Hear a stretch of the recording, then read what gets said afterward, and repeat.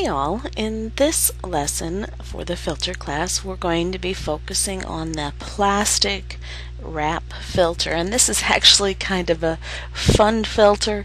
It can make things look like they're shrink wrapped where the the air is all sucked out of them or um, maybe a blister pack and I actually at one time a long time ago and I tried to find it to share with you and it was really funny somebody had joked about um, plastic wrapping me or making me look like a smurf in a plastic I turned myself blue and used this filter and and uh, oh I think somebody said they threw Smurf slime on me and I made myself look slimy and blue. I don't remember what it was. I couldn't find it on my blog. I couldn't find it in the uh, my files. It was pretty funny. I wish I could have found that to share with you.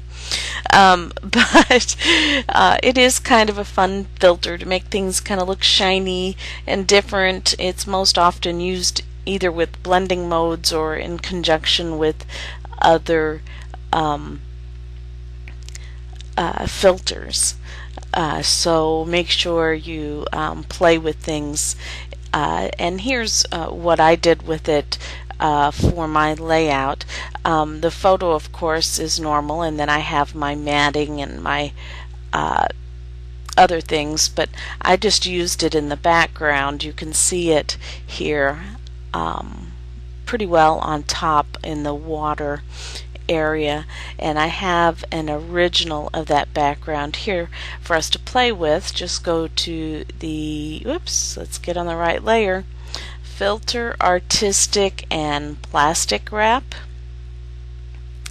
And um, what is kind of cool about this is it um, takes the highlights which is your highlight strength and um, makes it kind of a monochromatic highlight. So if you up these highlights I might zoom in so you can see this better.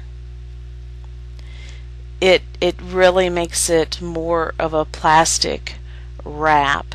Of course, as always, you just move the sliders around until you um, get to something, and and then when it does the this and the sliders, it also takes the the shadow areas and and makes them darker, so kind of gives a a shiny bevel to it. So here's moving the detail slider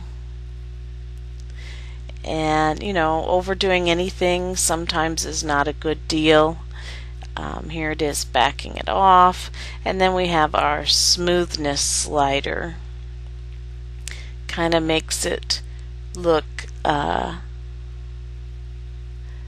like it less bubbles and more like it's just coated over the top. That's kind of what the smoothness layer looks like. This filter works best on inanimate objects, even though I did, you know, use it to smurf myself with slimy stuff one time.